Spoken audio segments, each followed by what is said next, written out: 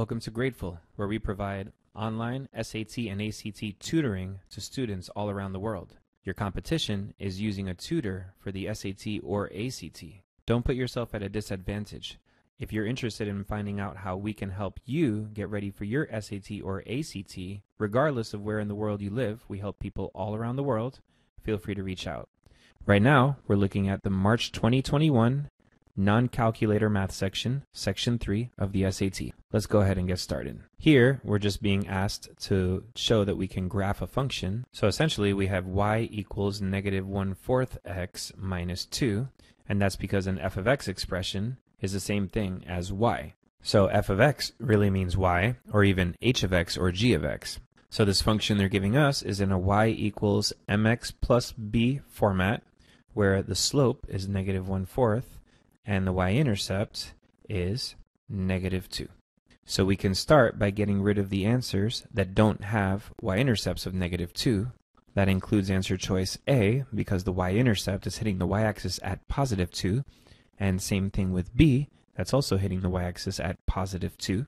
C and D are both hitting the y-axis at negative 2, so that's a good thing. Now we're just looking for the one that has a slope of negative 1 over 4. So that means that the slope which is your rise over run is negative 1 over 4. So it's going down 1. It's not rising, it's going down as it's running to the right by 4.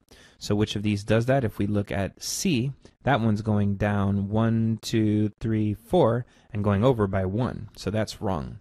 But D is going down 1 and over 1, 2, 3, 4, and that's answer choice D for number 1. Going over to number two now, we're being asked for the positive solution. So let's see what that means.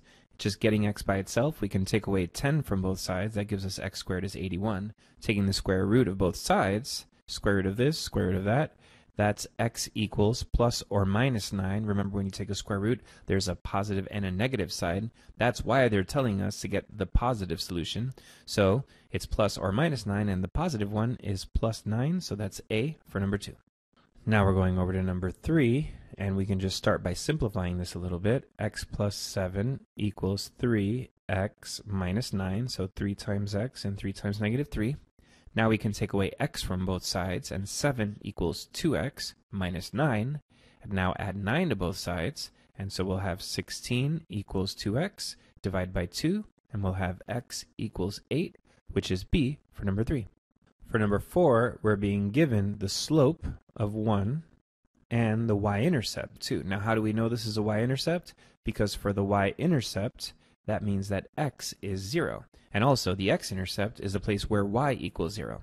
So we're being given a slope and a y-intercept, so we can use slope-intercept form, y equals mx plus b, put in the slope of 1 and the y-intercept of 2, and that's y equals 1x plus 2, which is answer choice C for number 4. Question number five is a really interesting example of the kinds of things the SAT does in order to manufacture difficulty. It's a really easy question, but with all of the words in other languages, we're just encountering a lot of weirdness and strangeness to the problem that could cause a lot of people to get it wrong. But the way to keep it together on these is to use the units for everything you're talking about. So we have pfennigs, and the question is telling us that we have P of them. And we have Groschen. Any Germans out there can correct me on the spellings of these. But we have G of those. So we'll just make a little room here and say we have P Pfennigs and G Groschen. So let's make a little more space. This all in the end has to add up to 85 Pfennigs. So the active part of this is that the Groschen are worth 10 pfennigs each. So let's go ahead and put that in here. So just rewriting this. And for the G Groschen, we're going to put a unit conversion that says that one Groschen is worth 10 pfennigs. I could only imagine what it felt like for students taking this in March 2021 in a live SAT. Uh, but in any case, the Groschen are going to cancel, one on the top, one on the bottom. By the way, this entire thing here is equal to the number 1.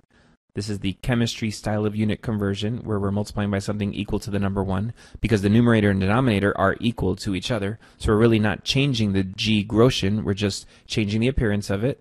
But this unit cancels with this unit, leaving us with the correct unit. So now the thing to notice is that we have the same unit all throughout. And once you have the same unit, you don't really need the units anymore. So P plus 10G equals 85, and that's answer choice B for number 5. Number 6 is really just about common denominators. We have 1 over x plus 1 over 2x, and we need the same denominators to be able to proceed. So let's just go ahead and multiply this one by 2 over 2. So this will give us the common denominator. So we'll have 2 plus 1 all over 2x and add the numerator and we get 3 over 2x, which is answer choice C for number 6. Question number 7 is going to give us some practice on completing the square in order to find the equation of a circle. It's a common operation that comes up from time to time on the SAT. So You'll see why we're explaining this in a moment, but to complete the square, you need to know b, b over 2, and b over 2 squared. And you need to know that b over 2 squared is what you add to both sides, and b over 2 will be what it factors to. Now, what b are we talking about here? We're talking about the b of a quadratic, because a quadratic can be in the format of y equals ax squared plus bx plus c. So we're talking about the number that's in front of the x, or if we're in terms of y, the number that's in terms of the y. We're talking about this negative 10 and this 6. So let's just go ahead and bring them over. Negative 10 and 6, this is for the x, this is for the y. Divide them both by 2 and square them both. And we have these numbers that we're going to use to complete the square. And so here we have the numbers that we're going to use to complete the square. So what we need to do is just go ahead and add the 25 right here for the x's and the 9 right here for the y's. Now we added 25 and 9, which is 34 to the left, so we can add 34 to the right. And so that's 36. And here, this is x squared minus 10x plus 25. That'll give us x minus 5 all squared. And here we have y squared plus 6y plus 9. That'll give us y plus 3 all squared. And this is in the equation of a circle, which is x minus h squared plus y minus k squared equals r squared. And so we know that the h, the x value of the center, is 5. And the k, the y value of the center, is negative 3. Why the opposite signs? Because whenever you have a formula that has negatives in the formula, it reverses everything. So let's just say that we took that center of 5 negative 3 and plugged it back in, it would be x minus 5. So a positive 5 would look negative, and y minus negative 3. And so a negative 3 is going to look positive when you plug it in. And so the center is 5, negative 3, and that's C for number 7. Okay, now going over to question 8, we're being given a system of linear inequalities. So let's just imagine what this looks like graphically.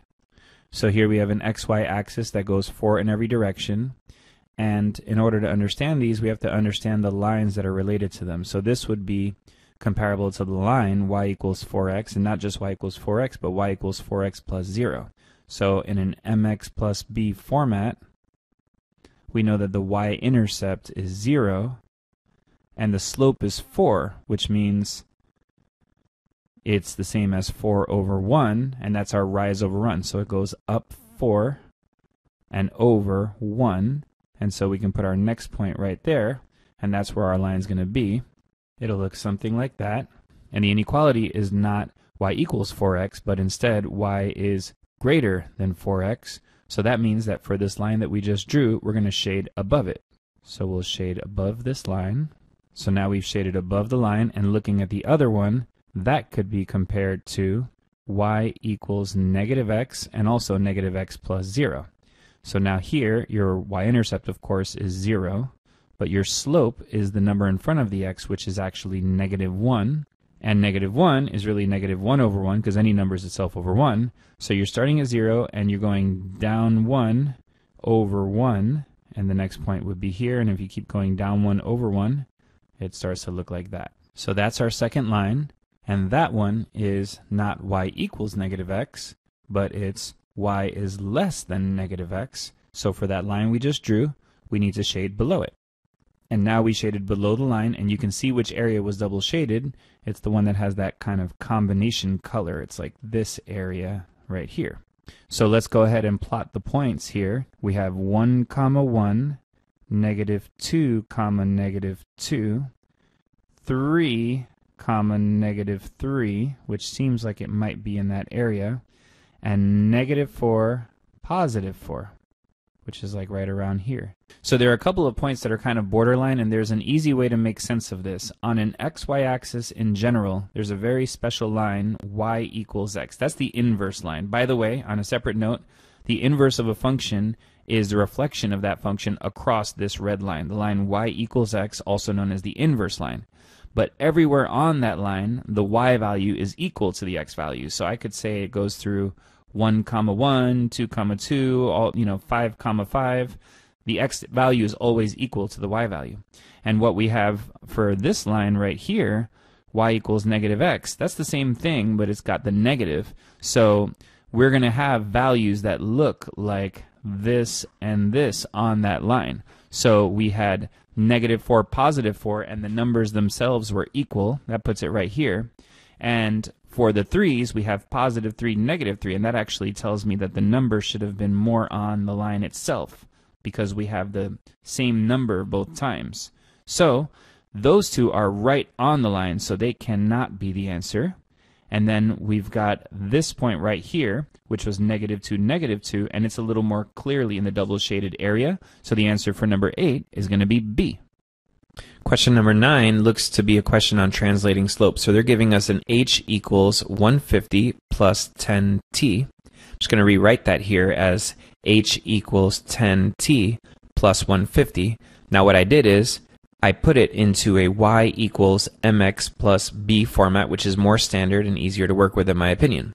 But the point is that the slope is your rise over run which is your change in y over change in x. But the idea of translating the slope is the idea that we're going to put in the details of this problem. The housing units is the y, so the housing units is y. So this is the change in housing units, and the x is t, and that's the number of months.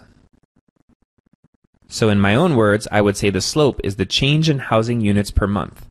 And what a coincidence, the question is asking us how many housing units are added to the community each month. So we just confirmed that what they were doing here was finding a fancy way to ask us what the slope is. And the slope is 10, so the answer for number 9 is A. On question 10, the first thing we're going to want to do is distribute this negative sign. That negative sign is like a negative 1, so we have 2x squared plus 3x minus 2 minus 5x squared plus x plus 7. So let's combine our like terms. Here we have 2x squared and negative 5x squared, so that's negative 3x squared. Here we have 3x and x, so that's 4x. And last but not least, we have negative 2 and 7, which is 5.